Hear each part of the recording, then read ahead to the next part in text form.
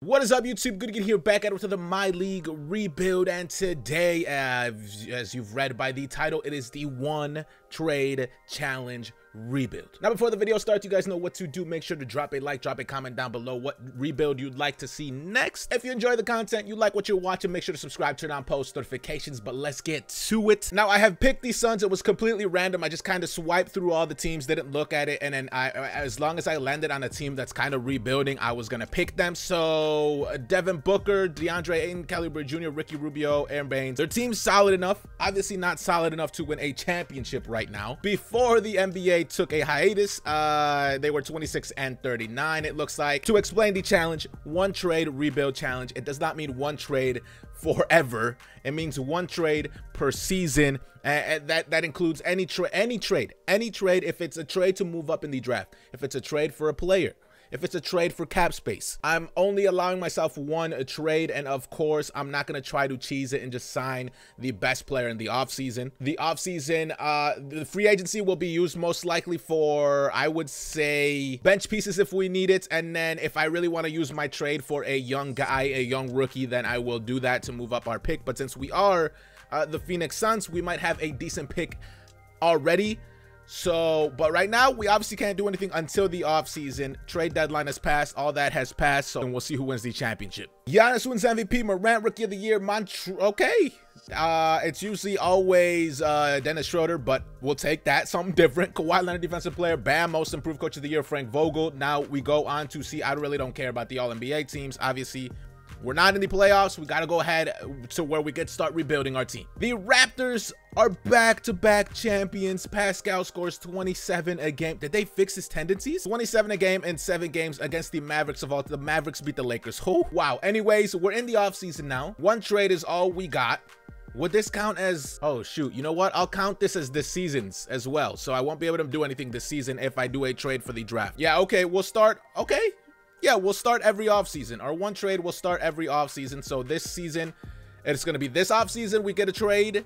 Got to wait the entire season until the next offseason and then we get a trade. Or if i hold off obviously i could trade in in the middle of the season before the trade deadline stuff like that. Draft lottery is going to be huge for us. If we finish top 10 i would love that. Skip to lottery results. Uh where are we at? Where are we at? Where are we at? We are 11th okay. I don't know what to do with that. I don't know what to do with that. Exit draft lottery yes. Uh gonna go sign the best staff possible. Monty williams probably out of here. Our assistant coach is out of here. If i can find a better trainer he's out of here as well. Of course i'm gonna go explore trades just to see what obviously we have a lot of people on on contract still D-Book's here for four seasons. I don't think i'm to trade him. I don't think i'm to trade the uh deandre Ayton. these guys are to be crucial for us to try to win a championship. Uh we just got to put uh, whatever i can around them. So i don't know what to exactly do. We need a point guard if we need one in the future as well. Two years ricky rubio do i trade that contract there's so many questions with one trade a season. This might not be the biggest of deals, but it, I, I think it should help a bit. Now, Ricky Rubio here for two seasons. Obviously, he's already going to be like 30 years old, 29, 30 years old. Dennis, time and time again, I've seen him improve in these in these rebuilds that I do. So I'm going to run him at the point. He's a 20 point scorer. He'll obviously help with a lot of scoring. Um, Hopefully his assist could get back up to around six. And I'm going to try to steal their 19th overall pick. Maybe pick up a project, send them to the G League or, or not send them to I don't want to super cheat. Uh, maybe just give him some untapped potential or something. But anyways, Ricky Rubio, Frank Kaminsky for Dennis. They do not want it. I've seen some, they want Kelly Oubre Jr., which is honestly, if I, hmm, give me another pick this season. Give me another pick this season, and they want our pick. No, no, no, no. Okay, hold up. Let me take out Kelly Oubre Jr., add that 20, and then that 22nd pick as well. Do they just add Kelly Oubre Jr.? They add Mikal Bridges and Jalen. But they add another first round Los Angeles Clippers swap best, so we'd be stacked with this year's picks. Maybe get lucky, draft a couple projects, uh, and eventually win like that. Shoot, I don't want to give up my... Oh, man. Does that mean we're, we're going to keep Kelly Oubre Jr. then? We'd have to re-sign Oubre. We'd have to re-sign Dennis if he plays well and we want him to. We'll have our 11th pick, the whatever pick that is. Okay, you know what? I just don't want to give up Mikal Bridges, man. I'm pulling it. I'm pulling it. I'm pulling it. I'm pulling it. We have a small forward already. If anything, we could draft some other guys as well. We're going to go into the draft. I'll see what I can get at the 11th and whatever other picks we have. What other picks did I just trade for? We have the 11th, the 19th, the 22nd. We'll see what I can get with those guys. Um hopefully some some some good players. All right ladies and gentlemen we got ourselves some pretty solid i would say overpowered overpowered rookies from this draft class. So we got ourselves onyeka okongwu oh, i don't know how to say his last name man. I'll, I'll i'm not gonna try i'm not gonna try but yeah pretty sure projected to be a top 10 draft pick Deni. I don't know where he's projected to be but i mean i got him at 19th i'm pretty sure he's supposed to go a little bit higher. Yeah also a top 10 draft pick if if, if i'm looking at these draft boards correctly. And then Josh Green's supposed to go somewhere like in the teens. No, he's supposed to go 21st. So that was one, I guess, a realistic one right there. But we got ourselves some nice pieces here. Um, I might start him at power forward right away. Do I change him to the power forward position? He is six nine. I would probably run him at power forward and then try to somehow improve his shooting. But we got ourselves some nice pieces. Here is the progression from, honestly, we haven't even started our first real season for us. Uh, but uh, D-Book goes up two, DeAndre Ayton goes up three, Schroeder goes up one. Like I said, he's going to continue to improve, hopefully another two overall this this following off season. Oubre Jr. still here, does not go up. Christian Wood, I signed for two seasons plus one. Um, I did that. Honestly, he becomes a bench piece or he becomes a, a tradable piece is why I signed him. Only 24 years old still. For Kaminsky here for another season. Dario accepted his qualifying offer. Deni still overseas. Uh, Onyeka, uh, 75 overall, might move him to power forward. He's 6'9". It would just you know, I, I, he'd be more valuable at power forward since we already have a great center. Cameron Johnson might move him down to small forward. That's a secondary position. So as long as it's not like a, a I don't know, he it just doesn't make sense for me to run him at power forward when I already have bigs. I, I do possibly need a backup power. I mean, backup small forward. Uh, Ty Jerome and then Josh Green. Um, all these other guys accepted their qualifying offers. I gave untapped potential to Johnson, to Onyeka, and to Deni, who I could somehow still give untapped potential to, even though he's overseas. Um, he's going to come back as a beast and probably start at small forward right away. But I am going to do those changes. Uh, where is he? Where is he? Where is he? Onyeka going to power forward. He goes to a 78. It seems so cheap, but it, it's just, I need them at those positions. This is what the lineup is looking like. I can't make any trades this season. I have to wait to the off season or next season season. And Dennis Schroeder at the one, Booker at the two, Kelly Oubre Jr. still at the three, Onyeka at the four, DeAndre Ayton at the five, Christian Wood at the six, seventh is Frank Kaminsky, Dario is at the eighth spot, and Cameron Johnson. If we had him at power forward, there'd be just way too many bigs. There'd literally be power forward, center, power forward, power forward. To me, this team is playoff a playoff team, so we might not have an awesome draft pick depending on whose draft picks we have. Okay, yeah, we only have our own, and then we'd have to wait till swap best over here in 2023. So I don't know if we win by then. Make sure our proficiency is at its best. Grit and grind is not going to be the best. Uh, triangle works, seven seconds works, so like balance works. I'm gonna just run balance even though Onyeka is not happy there, but that, that's fine with me.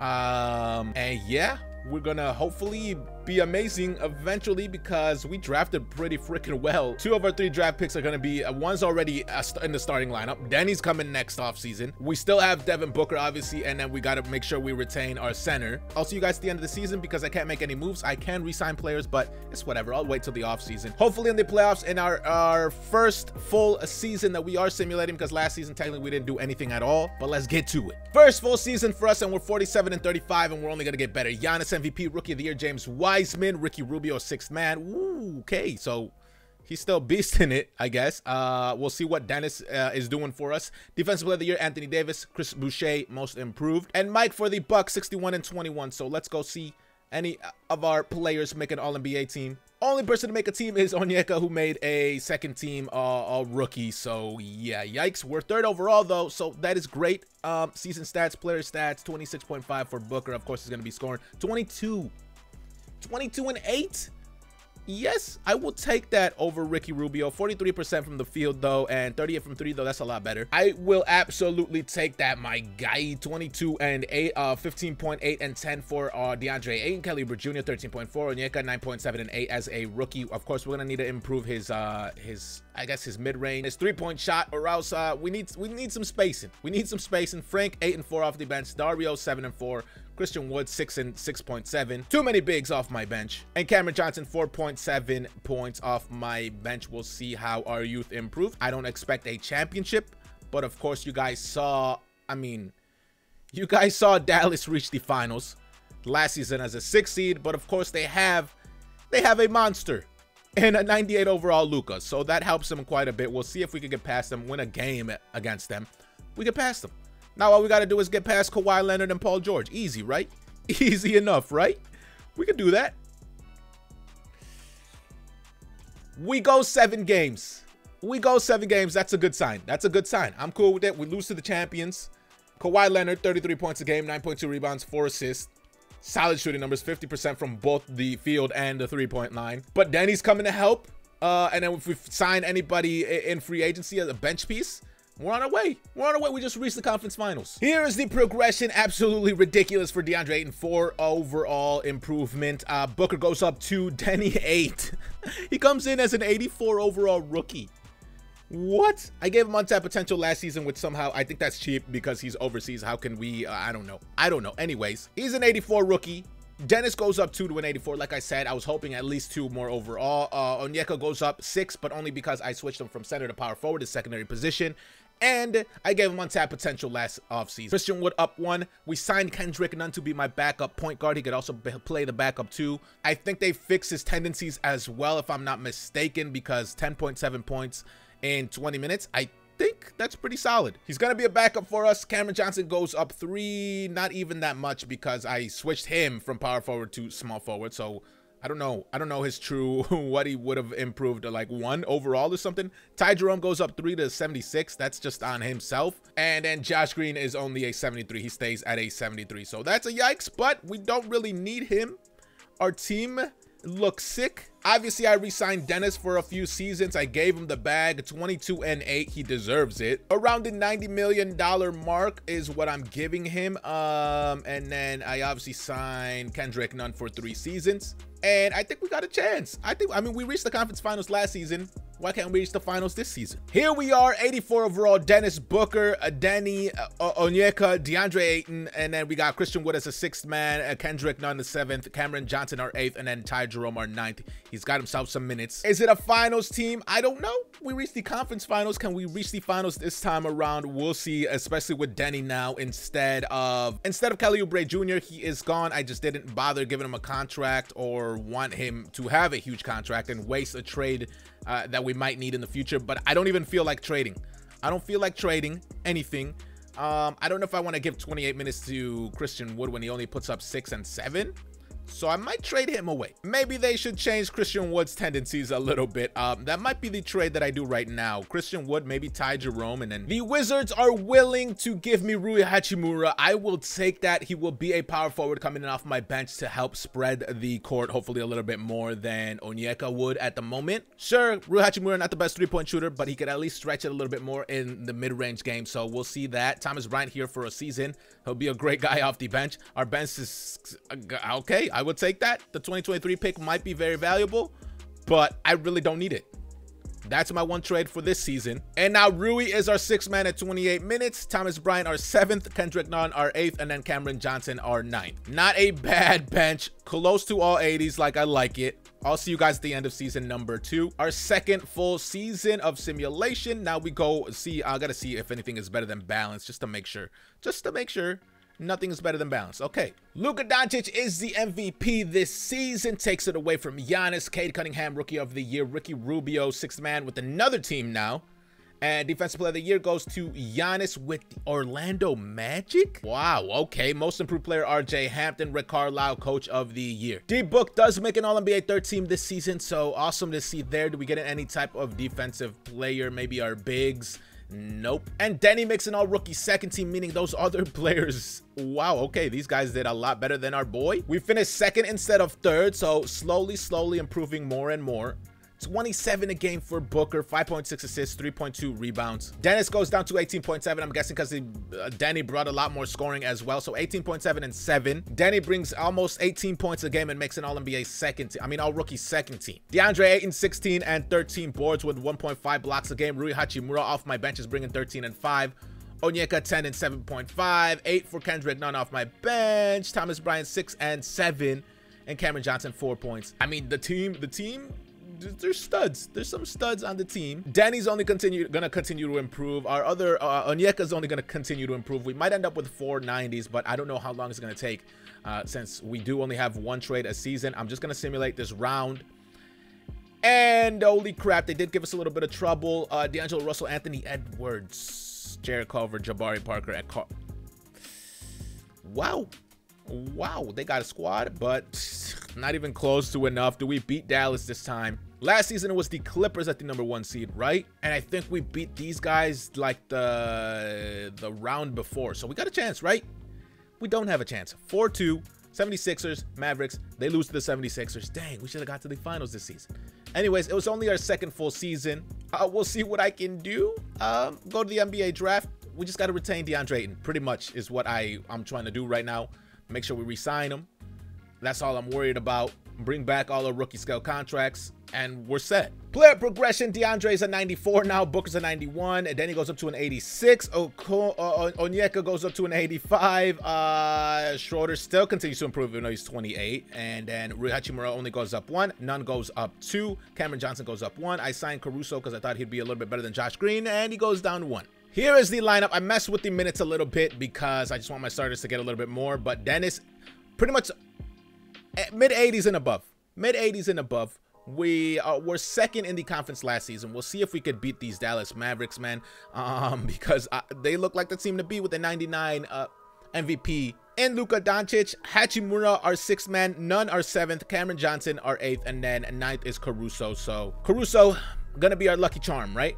Our lucky charm to win a championship. Four stars at balance, and it looks like to be the best one unless we want to run seven seconds. Oh, Uh, Onyeka's better at balance, so we'll leave him at balance, and, and we'll run it again. We'll run it again, see where we finish this season hopefully better and closer to that number one spot. Conference finals back-to-back seasons can't seem to beat that that top team in the Western Conference. We finished with 63 wins. I think Luka last season finished with like 67 or something, but he wins MVP again. Rookie of the Year, Mikey Williams, uh, William Floyd, six man, Giannis, defensive player, LaMelo, most improved, Jacob Underwood. I think that's our coach. Yeah, 63 and 19. I believe he's our coach. Um, I mean, same record. I'm guessing he is, unless another team has the same exact record. Let's go. Number one. We should be number one. Ayton makes an All NBA second team. Let's go. So uh, they're just like trading off, seeing who wants to be on an All NBA team, I guess. League standings 63 and 19. We're 16 games ahead. Why did Dallas fall to 45 and 37? I have no idea, but 16, 16 games ahead and three games ahead the Cleveland Cavaliers. So we're pretty much by far, unless we verse the Cleveland Cavaliers, we should win every series, right? Player stats, it looks more even throughout. What the heck? He went up to 18 boards. I mean, he did go up a few minutes, but holy crap, what?